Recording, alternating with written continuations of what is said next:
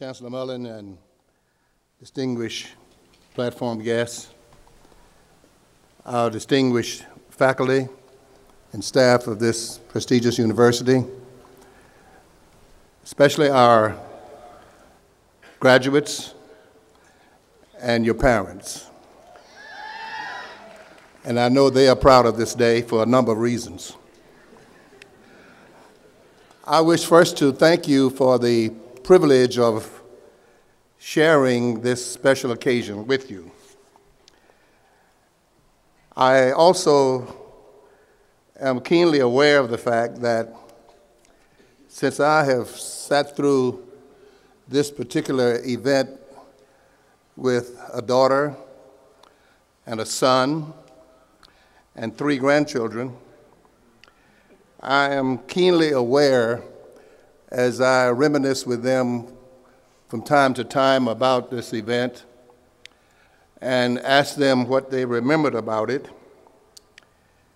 One thing that most of them didn't remember who was the commencement speaker.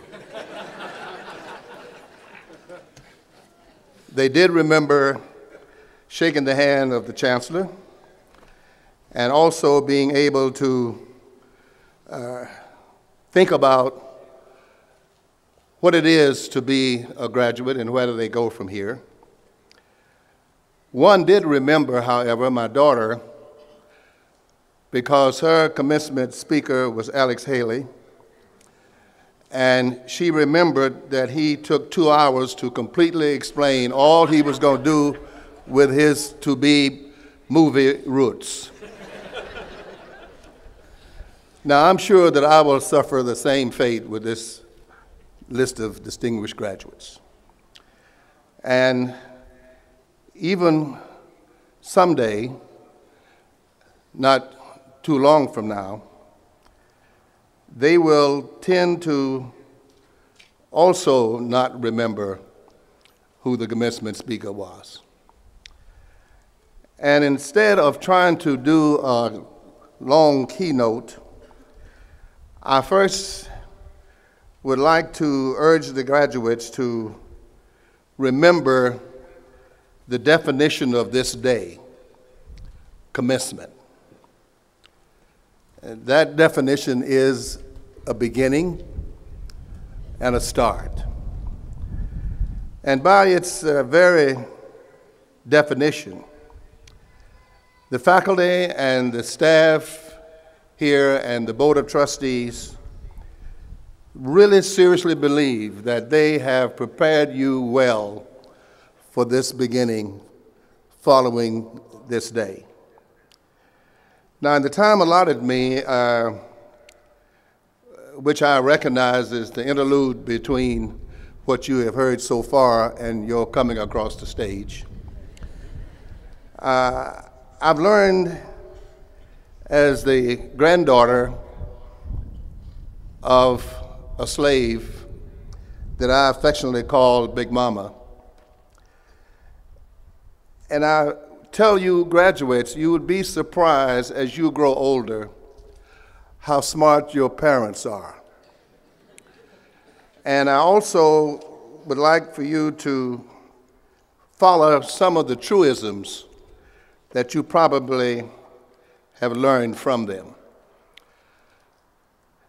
I've learned over the years it's very dangerous to come early at a commencement exercise and go to the different programs. And what I heard yesterday and last night, these graduates should know. And Chancellor, I know that you and your faculty are keenly aware of not having individuals engaged in plagiarism, but I will take some exceptions to that. Because as I listened to you and your remarks yesterday, in which you affectionately referred to this family and the family on this dais, when you spoke and urged the graduates that they need to truly exploit the expectation of the expectations of what they have gotten from this faculty, that there would be numerous challenges and the expectations that the University of North Carolina in Asheville has of this distinguished group here is high, the bar is high. Following that, I listened to Mr. Washington address a small group about his really trying to reach the highest heights. The kinds of things that he suffered in terms of trying to be the person that his parents expected him to be, and that was to always be in pursuit of excellence. And I know that as we speak to these graduates about what he said about never letting up, and if you believed him, you would never let hard to do get in the way of something worth doing. I think it was important that you should know that message that came from him. And in the face of prejudice and conscious roadblocks, you too will see some of those. And what Mr. Washington said, I am a survivor. And what he also implied, and I will mix some of Big Mama's advice to me when I was trying to survive being the last of 13. He said, and I paraphrase it some, but you must write your own destiny because invariably you decide what you will become. And I think that last night, as I listened to Tom Fazio and Muriel Siebert and Edward Villella, they spoke eloquently about their role and what it was involved to become the great successes and the distinguished people that they now are. And I believe they would have me to remind you of the fact that you have to believe in yourself in the beginning of this new life that's ahead of you. And you have to be constantly reminded. What Big Mama said to me often don't let the environment determine what you can become, into which environment you may go. The expectations that university has is that you will. But what you will also learn when you face those adversities and when you go to represent this university, that education alone is not enough. The world is full of educated derelicts. Talent alone, and I'm sure I've heard and read through the program of your honors, but talent alone is not enough. Because there are many, many unsuccessful people with tremendous talent. And even as I looked through the program and saw your high honors, your bid for genius is even not enough. Because unrewarded genius is almost a proverb. But what is essential? I say to this distinguished class, you have to have a sense of that dedication and devotion to task and discipline that I heard the Chancellor speak about yesterday. And you have to have a certain amount of pride as you face these obstacles. And you need to do every task you undertake as long as it takes as many times as it takes and as often as it takes for you to achieve the success that the university expects of you and your parents have paid for. I, I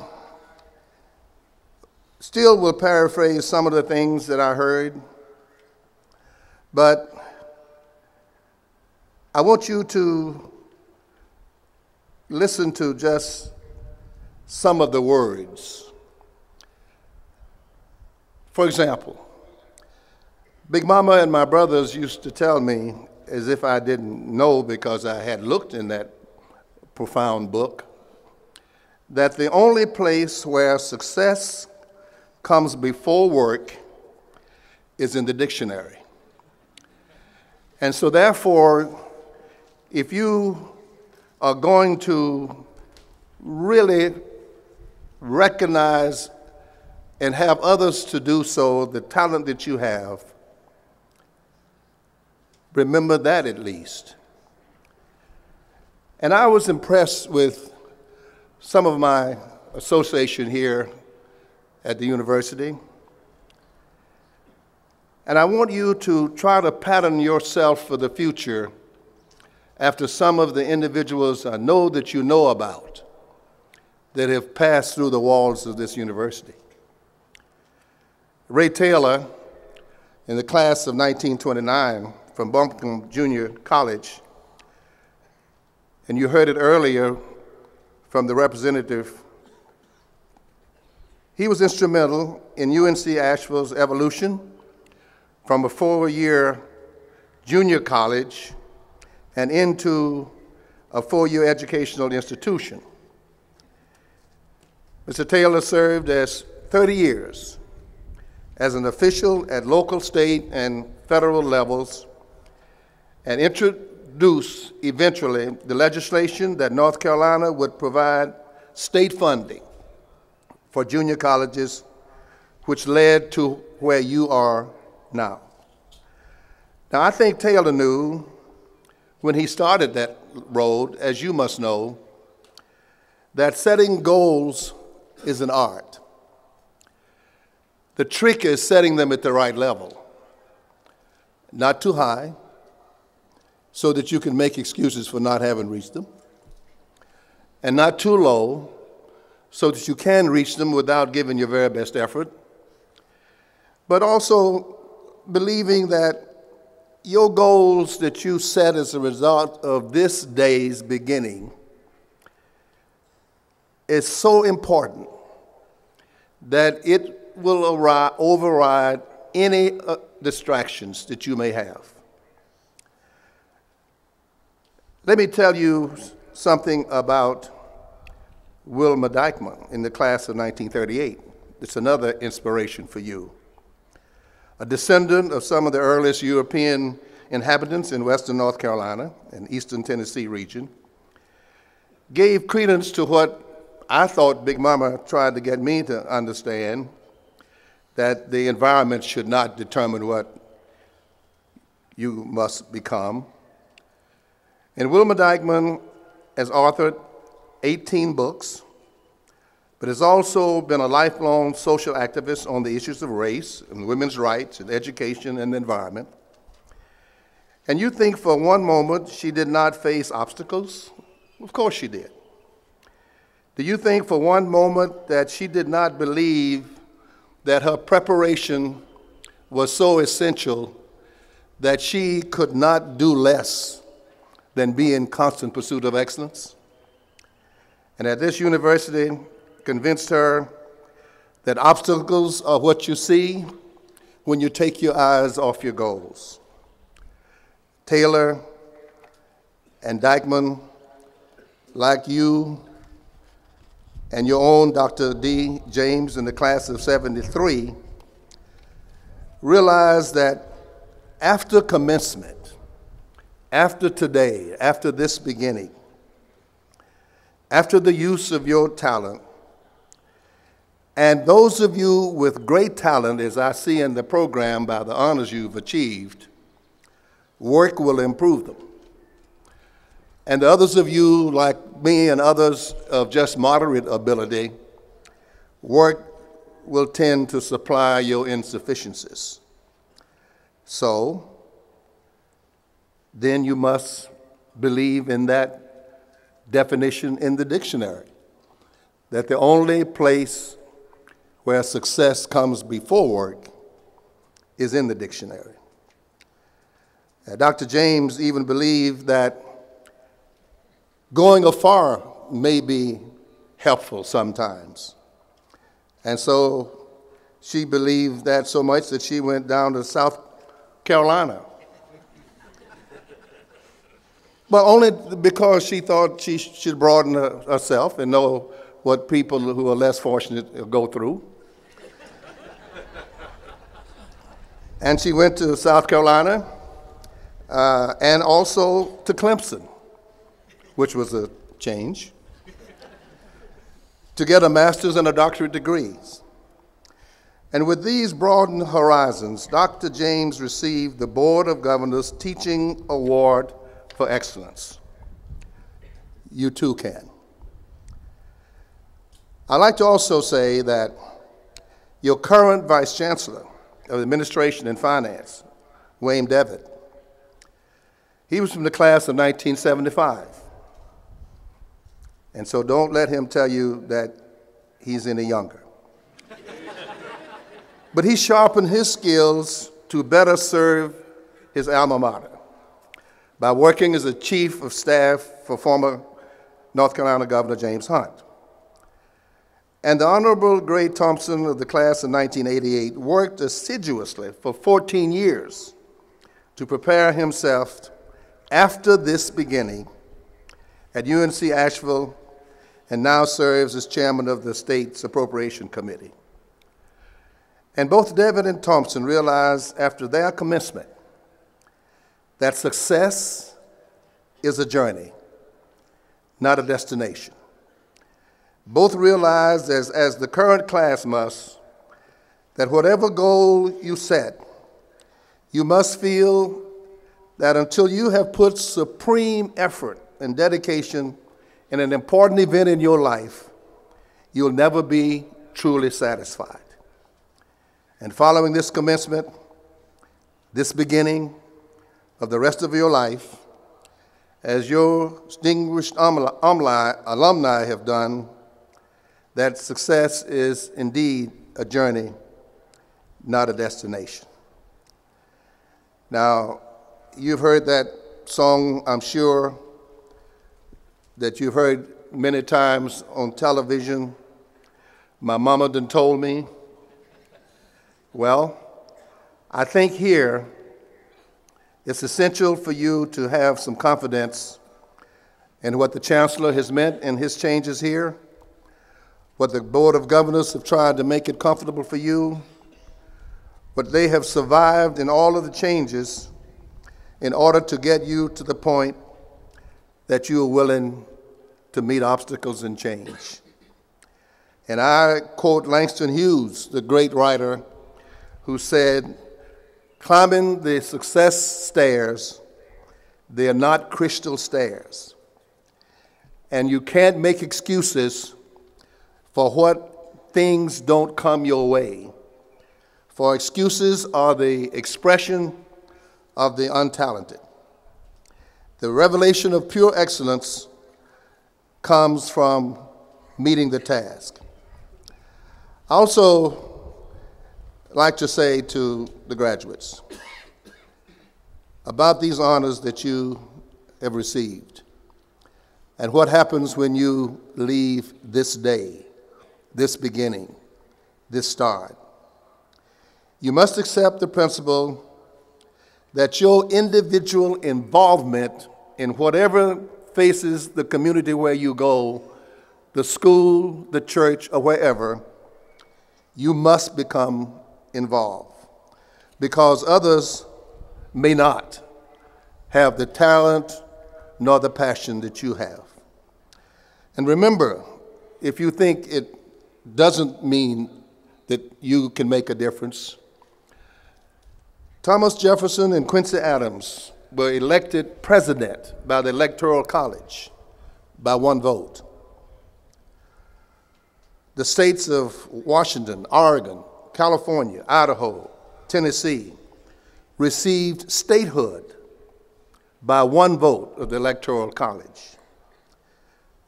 How many things you go through now have been decided for you by the Supreme Court by one vote? And when someone asked Walter Cronkite once, who is an icon of these individuals call themselves the anchors of television,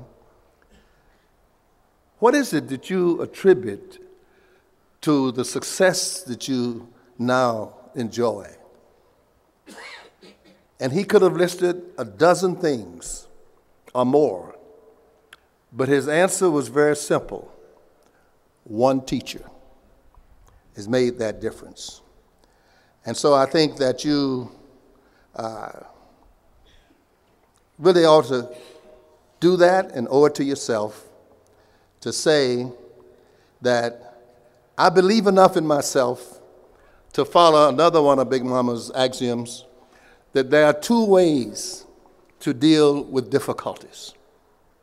You either change the difficulties, you alter the difficulties, or you alter yourself to meet the difficulties. And I also think you ought to know that it doesn't always come easy. It is always formidable to you in terms of your road to success. But when you think about that, think about Rembrandt. He was painting masterpieces when people thought he was a failure. And I looked at the lighting last night, and I was further reminded of it this morning when all the lights at Grove Park went out. How blessed we are that Edison, after a thousand failures, finally discovered the light bulb. It will not be easy. And another thing that I heard often, and I got the implication and listened to Washington and listened to your chancellor and listened to my fellow honorees here. Don't worry about a little spilled milk as long as you don't lose the cow. I want you to take heed because of this preparation to another great philosopher, because we've been doing a lot of discussion about the Yankees, and he was a great catcher uh, for the New York Yankees, Yogi Berra. And one of his great philosophical statements for those people who are prepared is when you get to the fork of the road, take it. and so I will not feel badly if you don't remember my participation with you on this very special day. I'd just like to leave with you another couple of axioms that I'm sure your faculty has said to you in different ways, and Big Mama has made it clear to me as she gave me those eyes which could speak volumes. The Chisholm Law of Human Interaction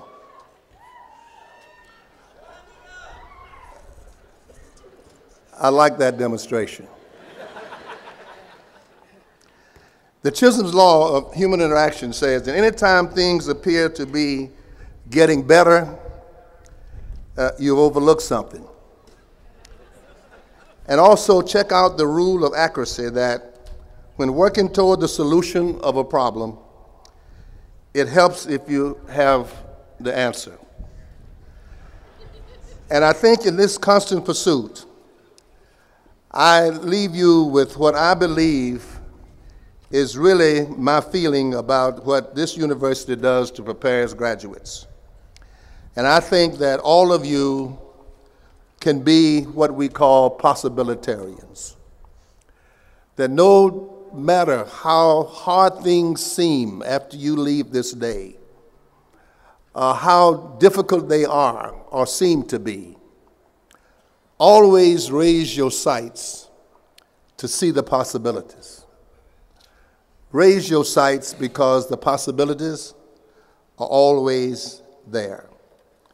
And I close with these reminders what life is as you go from this new day. Life is what you live each day. Life is a challenge, and it will be, so meet it. Life is the gift much of which you've received from this university, accept it. Life is an adventure, dare it. But life is a duty, Performing it. Life is an opportunity, take it. But life is a journey, complete it. Life is a promise, fulfill it. Life is a goal, achieve it. But sometimes life is a puzzle, solve it. And I hope that you will, in your work after this commencement, this beginning, this day, live every day as if you think it will be your last, and one of the days you'll be right. Thank you very much.